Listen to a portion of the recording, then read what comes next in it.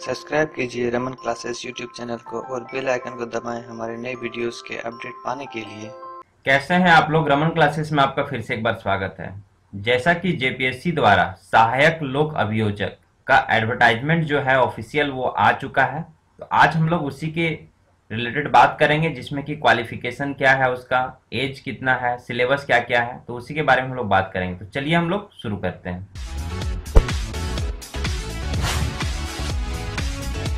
चलिए, जैसा कि आप लोग एडवर्टाइजमेंट देख पा रहे होंगे ऑनलाइन का जो आवेदन जो है, अंतिम तिथि आपका देखिए, शुरू में दे दिया है आठ चार दो हज़ार अठारह। तो इसका जो है, आपका शुरू हो चुका है ऑनलाइन तो आप लोग इसको भर सकते हैं। तो चलिए, हम लोग क्या क्या ज़रूरी है, हम लोग वो चीज़ को देख लेते हैं।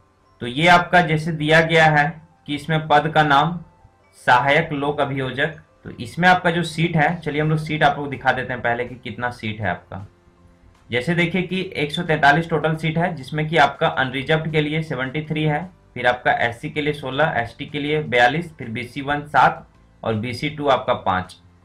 तो इस तरफ़ आपका ओमेन कैटेगरी के लिए भी रिज़र्व है आपका एससी और एसटी में, और आपका टोटल में भी तीन है। तो इस हिसाब से है आपका सीट तो चलिए अब हम लोग मैन हम लोग देख लेते हैं कि इसका क्वालिफिकेशन क्या है। क्वालिफिकेशन को लेकर के बहुत सारा कमेंट भी आ रहा था। तो हम लोग सबसे पहले इसका क्वालिफिकेशन देख लेते हैं कि क्वालिफिकेशन क्या रखा गया है।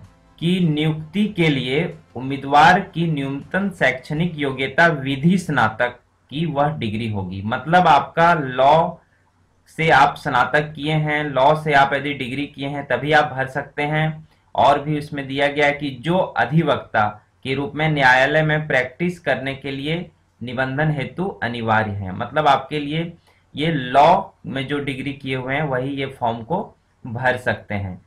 तो इसमें देखिए आपका दिया गया है कि न्यूनतम जो उम्र होना चाहिए आपका 21 वर्ष होना चाहिए और जो वो कैलकुलेट आपका करेगा, एक आठ दो हज़ार सत्रह से करेगा आपका। उम्र सीमा की संदर्भ तिथि दिया हुआ है। तो चलिए हम लोग देख लेते हैं कि इसमें और क्या क्या है। जैसे कि अनारक्षित के लिए आपका 35 वर्ष दिया हुआ है, अधिकतर उम्र सीमा, पिछड़ा वर्ग और अत्यंत पिछड़ा वर्ग के लिए सैंतीस वर्ष, महिला अनारक्षित, पिछड़ा वर्ग और अत्यंत पिछड़ा वर्ग। महिलाओं के लिए देखिए, अड़तीस साल यहाँ पे दिया गया है, अड़तीस वर्ष दिया गया है। उसके बाद अनुसूचित जाति और अनुसूचित जनजाति, पुरुष और महिला के लिए चालीस वर्ष। तो ये हो गया आपका उम्र सीमा। तो चलिए, अब हम लोग कुछ इंपॉर्टेंट बात जो है वो देख लेते हैं इसका।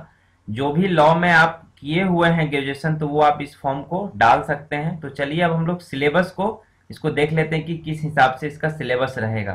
तो देखिए, इसमें आपके दो एग्ज़ाम होंगे। एक आपका प्रारंभिक परीक्षा होगी, दूसरा आपका मुख्य परीक्षा होगी। प्रारंभिक परीक्षा में आपके दो पत्र होंगे। पहला पत्र जो है आपका सामान्य अध्ययन का होगा 100 मार्क का होगा, जो कि आपका दो घंटे का होगा। अब जैसे टेबल पे आप देख पा रहे होंगे, और स्तर जो इसका जो होगा, वो आपका सामान्य स्तर का होगा। चलिए, द्वितीय पत्र जो है, वो आपका उसी सब्जेक्ट रिलेटेड पूछा जाएगा लॉ रिलेटेड सब्जेक्ट रहेगा, उसमें आपके 200 अंक रहेंगे। वो आपका दो घंटा का रहेगा। और स्तर जो इसका होगा वो आपके ग्रेजुएशन लेवल का ही स्तर होगा विधि स्नातक में ही।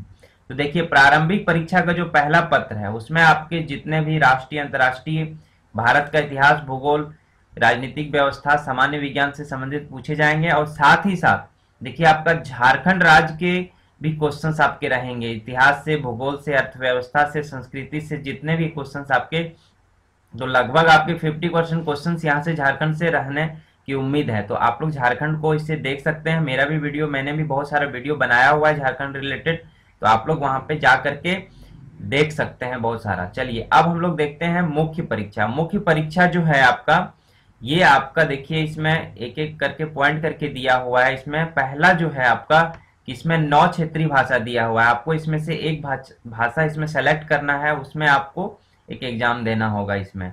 देखिए, ये आपका है। तो इसमें है आपका कि इसके लिए आपका न्यूनतम जो है, ये आपका रखा गया है कि आपको पासिंग जो है वो ये सब दिखे दिया हुआ है इसमें कैटेगरी बाइज से करके। दूसरा जो आपका है, दूसरा पॉइंट में है कि इसमें आपका जो लिखित परीक्षा होगी, ठीक ना? और उसके बाद आपका साक्षात्कार। तो लिखित परीक्षा देखिए, ये सब सब्जेक्टों की होगी। आठ टोटल आपके सब्जेक्ट दिए गए हैं। तो जिसमें कि आपका देखिए, पहला पत्र सामान्य हिंदी से, फिर आपका अंग्रेज़ी से, फिर निबंध रहेगा, सामान्य अध्ययन रहेगा, ये सबसे आपका रहेगा। फिर आपका अपना सब्जेक्ट से भी आपका देखिए, तीन, चार चार आपका है। तो फिर लास्ट में आपका साक्षात्कार है पचास नंबर का। तो इस हिसाब से देखिए, यही आपका सिलेबस है। और भी कुछ चीज़ हम लोग देख लेते हैं, इसका फ़ी क्या रहेगा? फ़ी क्या है? चलिए, जैसा कि आप लोग यहाँ देख पा रहे होंगे, बारह पॉइंट में आपका परीक्षा शुल्क है। देखिए, परीक्षा शुल्क आपका देखिए, छह सौ रुपया है। बैंक चार्ज जो होगा, वो आपका इसके साथ एक्स्ट्रा आपको देना पड़ेगा। तो देखिए, परीक्षा शुल्क जो है, आप debit card, credit card, internet banking के एसबीआई कलेक्ट पे स्वीकार किए जाएँगे, जो कि आपका www.jpsc.gov.in पे उपलब्ध है इसका जो वेबसाइट पे, यहाँ से आप लोग अप्लाई कर सकते हैं। आपका एस टी लोगों के लिए आपका परीक्षा शुल्क एक सौ रुपया है, और प्लस बैंक चार्ज भी उसमें आपको देना पड़ेगा एक्स्ट्रा तो ये आपका है परीक्षा शुल्क। और देखिए, और भी कुछ कुछ पॉइंट है। चलिए इंपॉर्टेंट पॉइंट पे हम लोग डिस्कस कर लेते हैं आपका। चलिए, देखिए, ये चौदह नंबर है। ये आपका लास्ट का ये बहुत इंपॉर्टेंट पॉइंट है। ये आप लोग देखिए, इसमें आपका देखिए, तेईस तारीख से आपका स्टार्ट हो चुका है आपका अप्लीकेशन सिस्टम उसके बाद ये आठ तारीख तक आपका होगा, इसका लास्ट डेट है। तो इसमें आप लोग ऑनलाइन आवेदन कर सकते हैं। उसके बाद इसमें क्या दिया गया है कि आपका जो ऑनलाइन एप्लीकेशन सिस्टम के माध्यम से दिनांक आठ चार तक रात्रि ग्यारह बजे तक ही स्वीकार किए जाएँगे। ये आपका इंपॉर्टेंट है। दूसरा पॉइंट क्या है कि आपको जितने भी जो ऑनलाइन जो मुद्रित पत्री के साथ आपका सभी प्रमाण पत्र मतलब आप जब ऑनलाइन फॉर्म भरेंगे, उसका जो प्रति होगा, उसके साथ ही आपको सारा जितना सर्टिफिकेट वगैरह है, सबको आपको स्पीड पोस्ट आपको हाथों हाथ आयोग कार्यालय से प्राप्ति की अंतिम तिथि जो है 20 चार 2018 को है। आपको इसमें सारा डॉक्यूमेंट भेजना है। चलिए, और कुछ दिया है एक पॉइंट आठ चार 2018 से 11 चार 2018 तक जो है, ये लिंक सिर्फ़ आपका परीक्षा शुल्क जमा करने के लिए ही उपलब्ध रहेगा। मतलब आपको 8 तारीख से पहले फॉर्म भर लेना है। चलिए, ये थे आपके एडवर्टाइजमेंट रिलेटेड कुछ बातें। और भी कुछ यदि एग्ज़ाम के रिलेटेड कुछ सूचना आता है या फिर कोई नया वैकेंसी आता है तो हम आपके साथ ज़रूर शेयर करेंगे। आप हमारे चैनल के साथ ऐसे ही बने रहिए। और जो सब्सक्राइब नहीं किए हैं, वो ज़रूर सब्सक्राइब कर लें। लाइक शेयर कमेंट करना ना भूलें। Thank you